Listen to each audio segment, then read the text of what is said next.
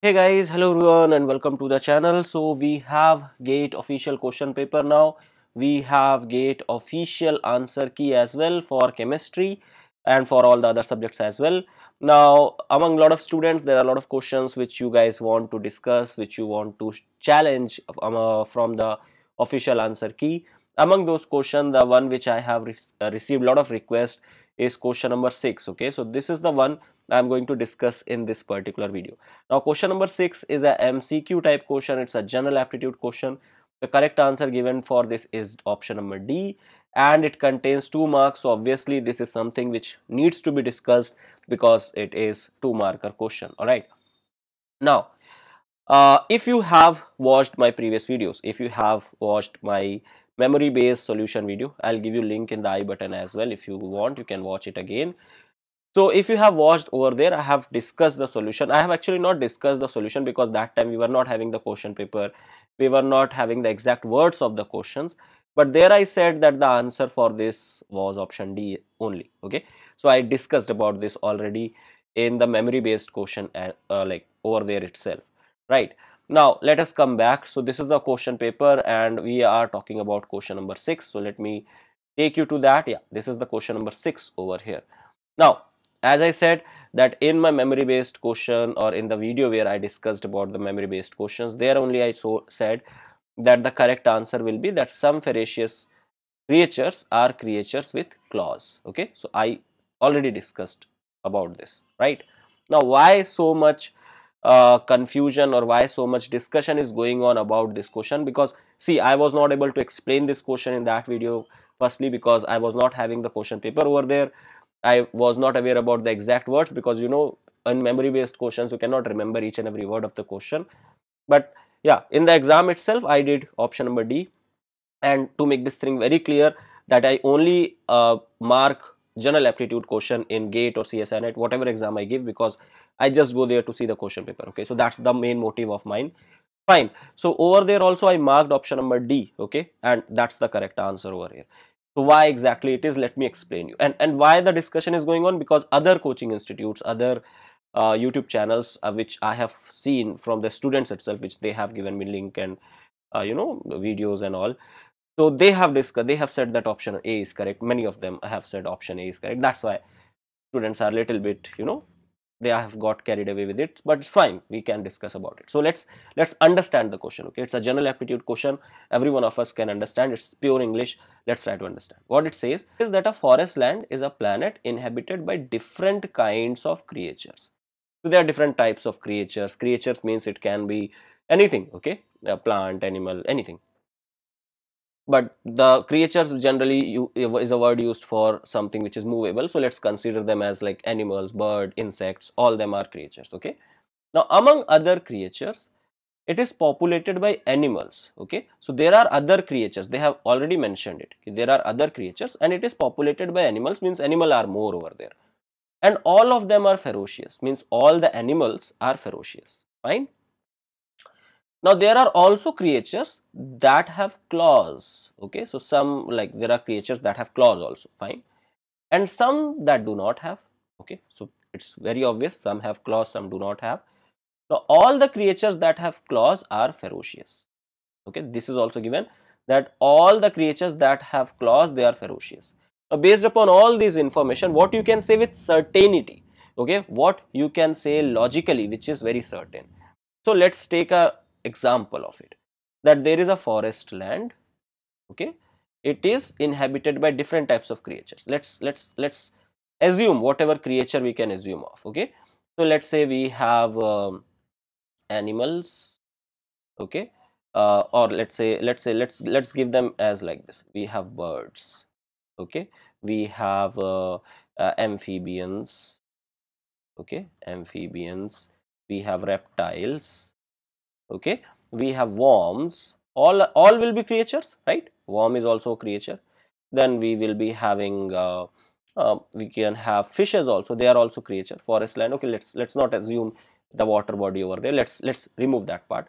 But let's say let's say that we have some mammals also. Okay?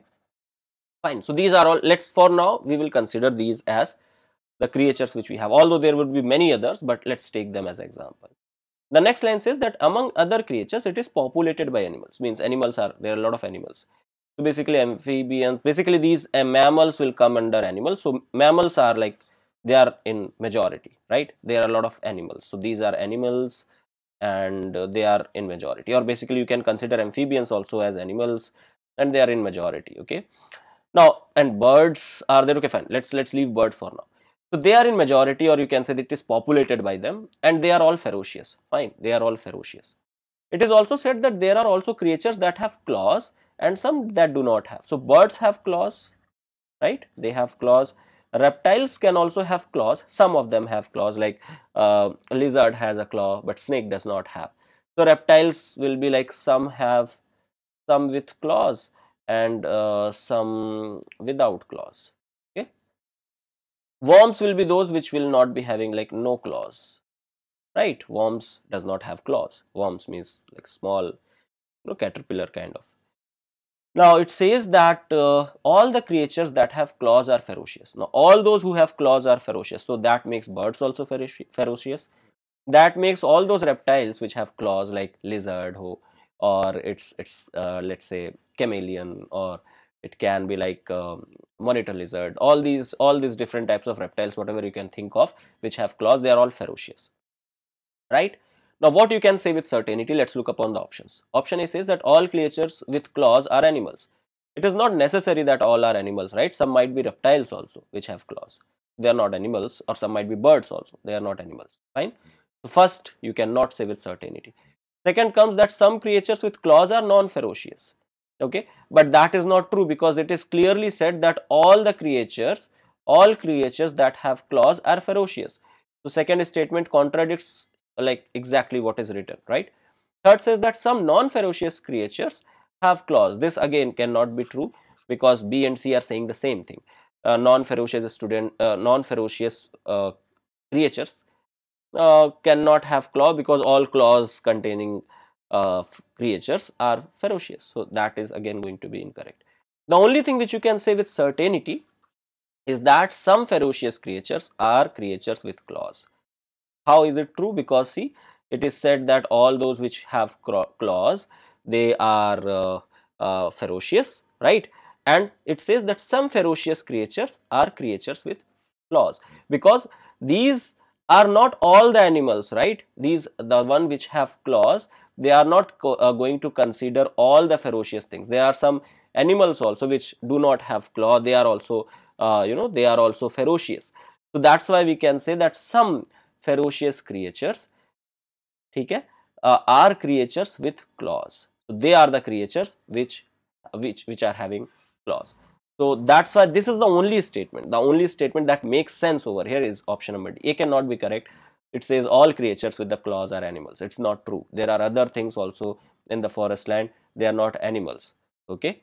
And uh, they have claws right? So that's how you have to think about it. And that's how you have to answer it.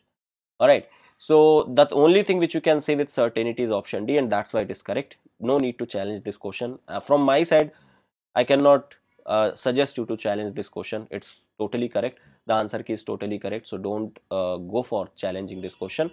If you have any other uh, you know opinion or if you have any other argument against it you can drop down in the comment section below. I can read about it. I will try to answer you over there itself. And that's it for this video. I'll try to take other question also which you guys have uh, commented on the community post. I'll try to discuss them also in the next video. Till then have a great day. Bye bye take care and uh, see you guys in the next one Hey guys, so I teach live on Unacademy Plus platform. Here I teach for the CSIR UGC NET category and you can follow me over here for regular classes. You can access my free classes as well as my paid classes on this particular platform. The classes which are free, you can get that under the section of special classes.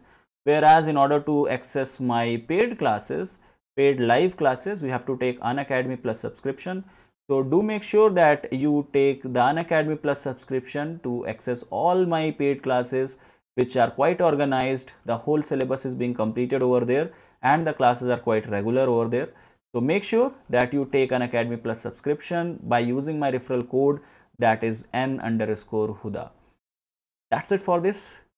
Thank you so much.